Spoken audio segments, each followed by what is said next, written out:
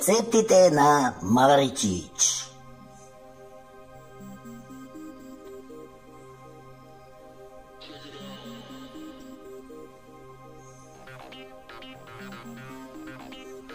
Бранцин на сол, кркано кај газда Джино. Кога ќе видиме министер у кафана, тоа е празник. Затоа сме спремни со тон, тони пола риба у фрезер. Ви треба бранцин за четворица.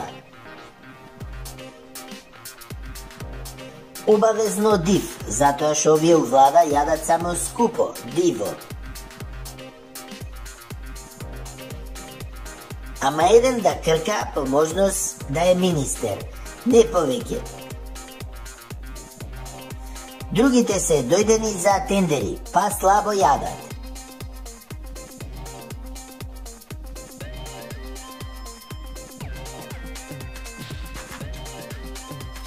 Бранцинот се пече во сол, ама солта не се јаде,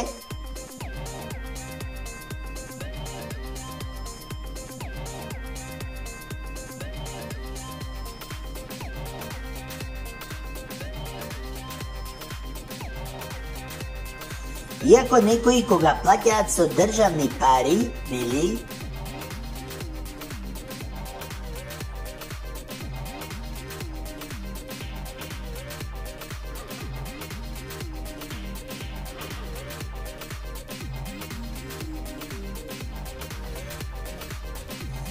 Ја бараат солта за дома да им ја спакуваме, да не оди фира, нели? Така се научени.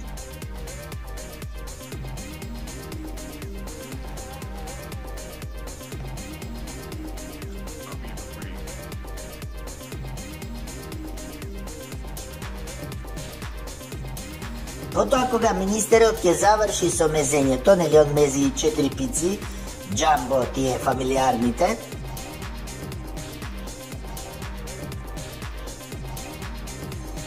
целата риба му ја даваме после нему.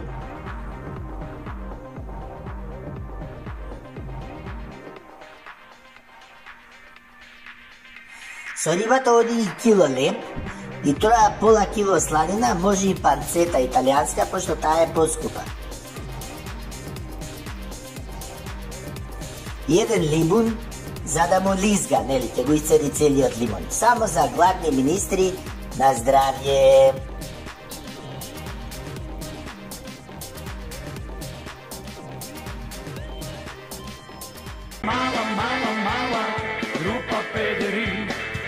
Nothing wrong, wrong.